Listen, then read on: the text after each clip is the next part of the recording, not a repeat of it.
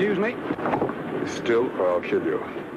In popular fiction and the movies, the secret agent is usually the James Bond style adventurer. In reality, he is more likely to be your next door neighbor or someone you'd meet in a bar.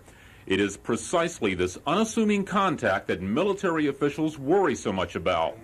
This is a class called the Collector's Briefing the Navy holds for seamen who handle classified information. They are warned about Soviet contacts.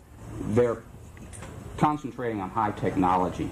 I think that's that's obvious. Any to find out how the Soviets penetrate our secrets, we traveled to Florida to speak with the source. This is Kaarlo Tuomi, a former agent of Soviet military intelligence smuggled into the United States illegally.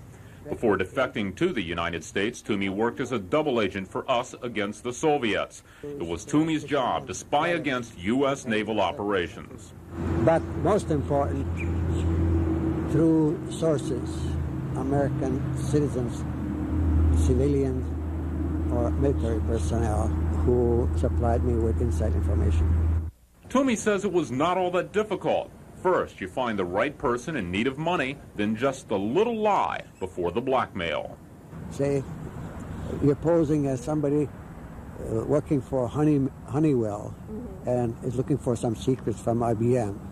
So you you offer money for a certain detail, technological innovation, or something. And once this American accepts money, whatever, however small this amount, you owe this person now. This is a copy of the KGB Manual for Recruiting Americans. It and counterintelligence officials agree money is the bait most Americans turn traitor for. Money, yeah, there's no question about it. Money, quite often, is the only motivating factor. The recent conviction of a Norfolk Navy man, Brian Patrick Horton, on charges of offering to sell secrets brings the issue closer to home.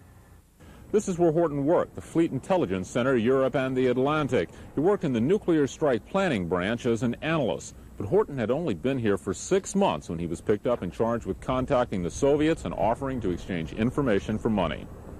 Horton was sentenced to six years at hard labor. Former spy Tuomi says Horton should feel lucky he was caught.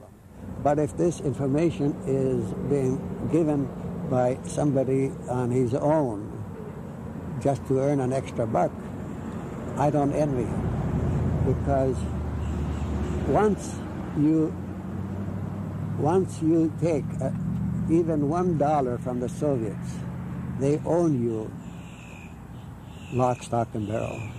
Either for security reasons or because, as they claim, they do not know, counterintelligence officials will not estimate how many spies plague our military facilities. One has to make the assumption that given the extensiveness of the Soviet effort, that they have met with at least some limited success, and that uh, such people exist among us in the Hampton Roads area today. Tomorrow night, high-tech espionage. Satellites and listening posts have targeted Tidewater. Your phone is not safe. I'm at Hazelwood, the Daily News.